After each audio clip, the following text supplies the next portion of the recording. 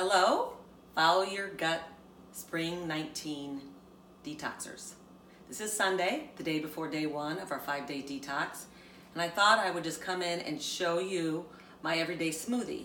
This is what I've been doing for years in the morning. I give you lots of suggestions on what to eat for breakfast, but this seems to be a pretty easy thing to do. And so I'm just gonna go through this. I have other videos like this, but I'm doing this just for you guys. So here's how I start out. And when I say everyday smoothie, the reason I call it that is literally stick to the guidelines as far as what you can't have and then go from there. But I always start out with frozen blueberries and banana. They're in here. If you don't like banana, that's fine. Blueberries are amazing. Um, they're the best berries probably. Um, and they're frozen, makes the smoothie a little bit cold. And you buy them, the best ones you can find, and keep in your freezer, and that's easy. So after that, I put in that's what I do. Um, some cleansing vegetables. And here I've got cucumbers. And you can see I didn't peel or anything. They're organic. And organic celery. And they also go in. And as much as you like. Okay, start out wherever you are. And then the greens, any kind of greens you want. You can mix up your greens, add multiple greens. Stick to one green right now.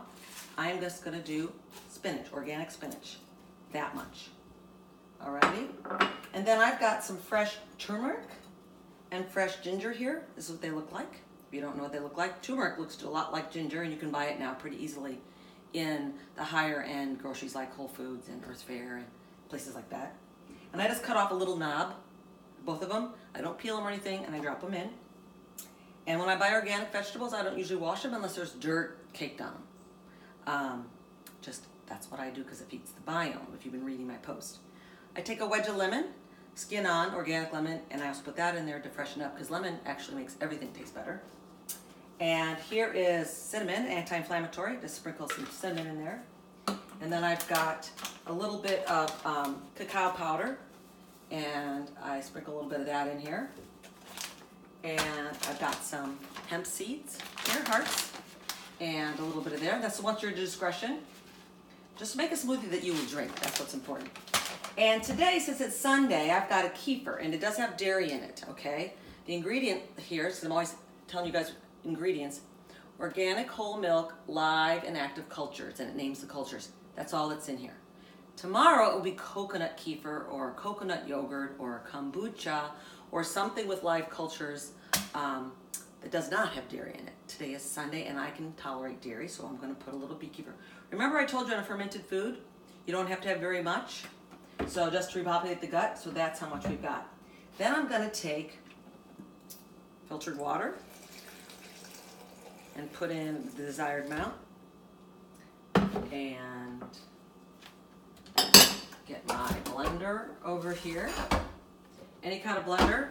I'm at the beach house right now, so this is the blender that's here. And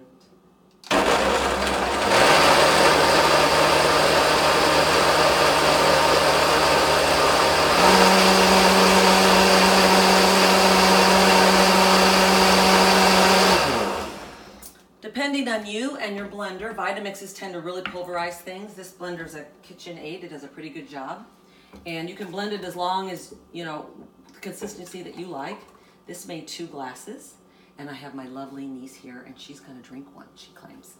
So, that is the everyday smoothie that you can make every day. Um, if you don't want to do muesli or the things I suggest for morning, you just got to get out the door. Um, you can make it the night before if that's easier for you. So as we go through these five days, I want you to treat yourself really nice and be prepared. Alrighty? Talk to you later.